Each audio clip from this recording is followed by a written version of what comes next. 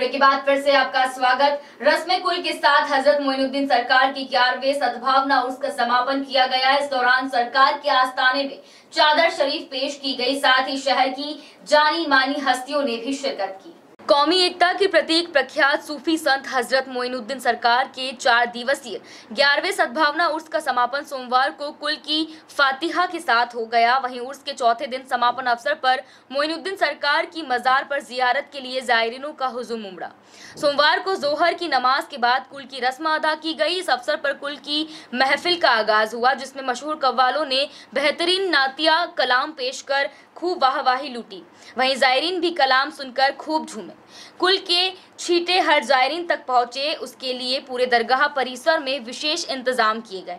इस मौके पर नीमच ज़िले सहित दूर दराज से भी जायरीन सरकार के आस्थाने पर जियारत करने पहुँचे। इस दौरान दरगाह पहुँच मार्ग सुबह से शाम तक जायरीनों से भरा नज़र आया। कुल की रस्म के बाद सभी जायरीनों के लिए लंगर आम का आयोजन किया गया, जिसमें सभी जायरीनों ने तबर्रुक तकसीम किया गया।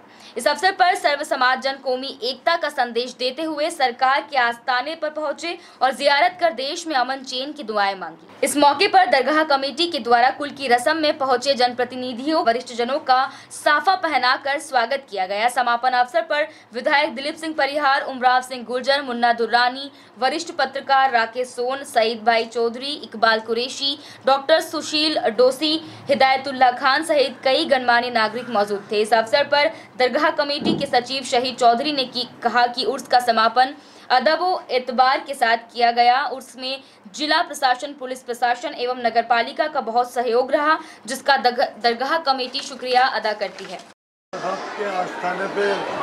14 जून से 17 जून तक चार रोज तक आयोजन चला है और बड़े सुकून के साथ और पूरे शहर के, पूरे ज़िले, देश प्रदेश के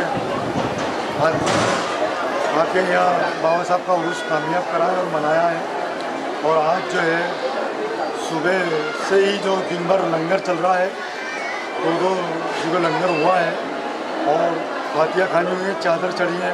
बहुत और बहुत सारे शहर के और बड़ी दूर दूर के लोग बाबा साहब के यहाँ आशा लेके आए।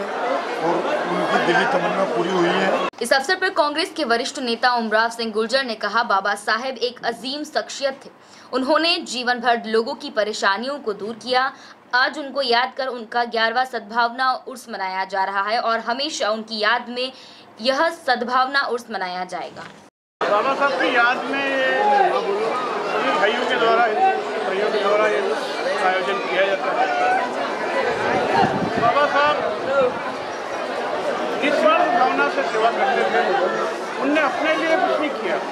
उनमें जो ऊपर वाले की ताकत दी थी, उसके माध्यम से कई लोगों की सेवा करने का काम किया है।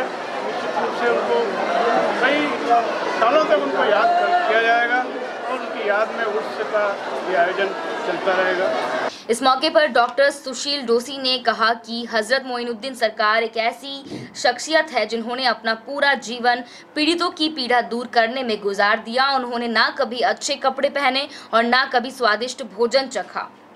उन्होंने अपना जीवन एक सादे अंदाज में गुजारा। उन्होंने हमेशा सर्व समाज जन को एक नज़रिए से देखा, चाहे वह हिंदू हो, चाहे वह मुस्लिम। आपने पर्दे लेने से पहले कई लोगों के दुख दर्द दूर कर दिए। बच्चे के दिल में छेद था, उन्होंने ऐसे हाथ फेरा, दिल का छेद बंद हो गया। ये वो शख्सियत है। ये शख्सियत वो है जिन्होंने जीबान पे कभी स्वाद नहीं आने दिया। ये शख्सियत वो है जिन्होंने कभी अच्छा कपड़ा नहीं पहना। लोगों के, हर व्यक्ति के लिए, हर दुख दर्दी के लिए ये वो बाबा काम आए जिनका आज ग्यारहवा उर्स है।